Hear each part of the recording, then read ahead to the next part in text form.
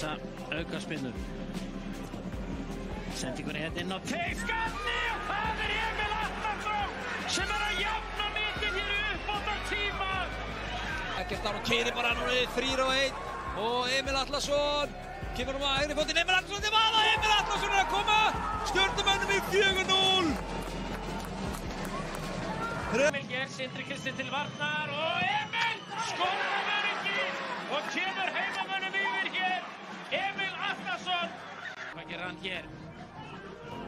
Leikur á að frábælega gert, Ísak Andri. Þetta er meira átt að vel gert, er annar mark að koma hér. Já! Ísak Andri, einstaklingsframtak upp á tíu hjá leik.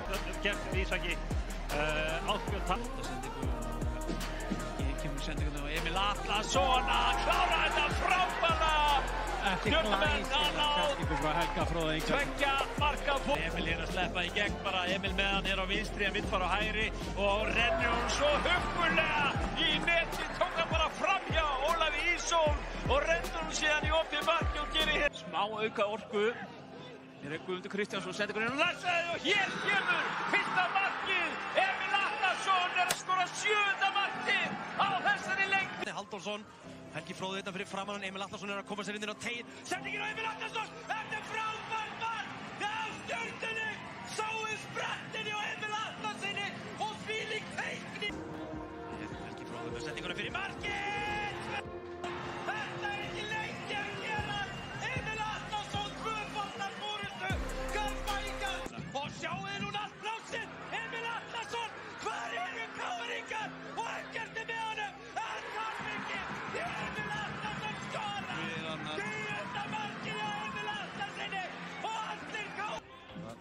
Lagstall. Lagstall með sendingar hérna og hér er Emil Atlason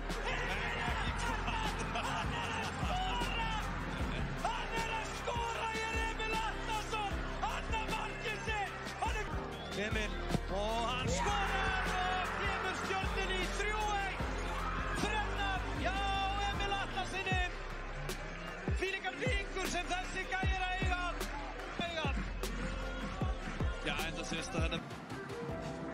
Robert Frosti og hér er færi og sjálfsögðu skorar Emil Atlason. Hann skorar alltaf. Þetta mark. Frábælega gert hjá Helga, Helgi liftur um Emil Atlasson, Emil Atlasson er að skora!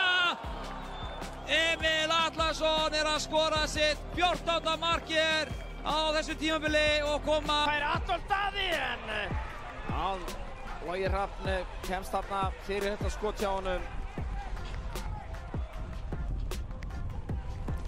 Hér er hins vegar Emil Atlason að skora þriðja mark stjörnunar Hilmar Otni nær að já, lifta boltan í mætrunum.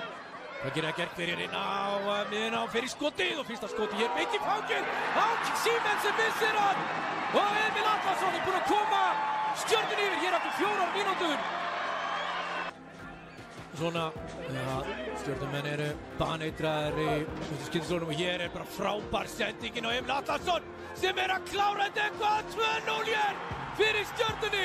Frábært markja á Emil Atlassinni, annað markja hans hér í dag.